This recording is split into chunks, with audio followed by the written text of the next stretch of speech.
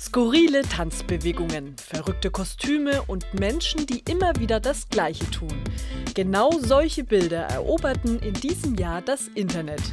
Der Name dieser Webphänomene Harlem Shake und Flashmob. Aber worin besteht nochmal der Unterschied? Beim Flashmob wie hier an der Universität in Bayreuth geht es in erster Linie um Spaß. Per Twitter, Facebook oder SMS organisieren sich möglichst viele Leute, die dann meist auf einem öffentlichen Platz zusammentreffen. Und dann geht es los. Der eine macht was vor, die anderen machen es nach.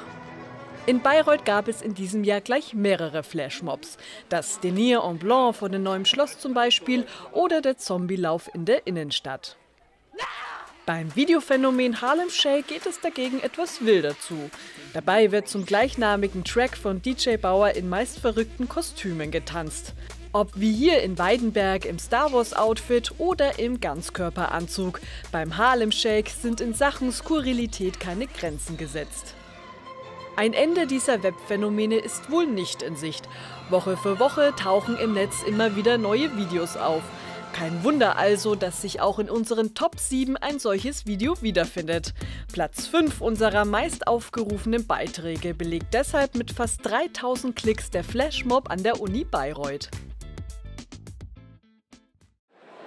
Stehen, damit es weitergeht. So oder so ähnlich könnte man die Aktion von den beiden Studentinnen Maike Wessel und Eva Wittmann der Uni Bayreuth am Dienstag bezeichnen.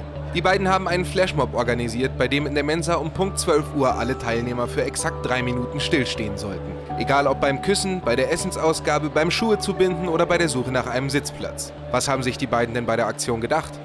Ich weiß nicht, wir finden Flashmobs einfach cool und wir dachten uns mal was Neues. Das gab es noch nicht bei den Abschlussprojekten und dann natürlich so ein Gruppenfreeze für den Anfang dachten wir, es erregt halt Aufmerksamkeit, ja.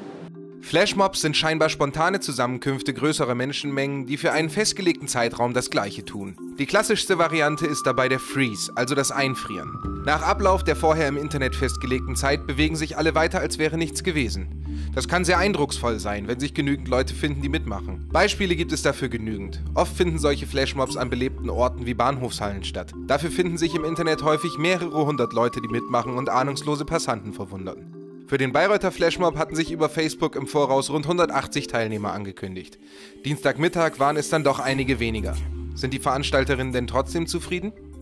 Also wir konnten nicht genau zählen, weil es waren so viele Menschen hier unterwegs, aber es waren auf jeden Fall, denke ich, 70 bis 100 Leute waren auf jeden Fall, sind auf jeden Fall stehen geblieben und es war wunderbar. Also konnten wir uns, mehr haben wir uns nicht erhofft.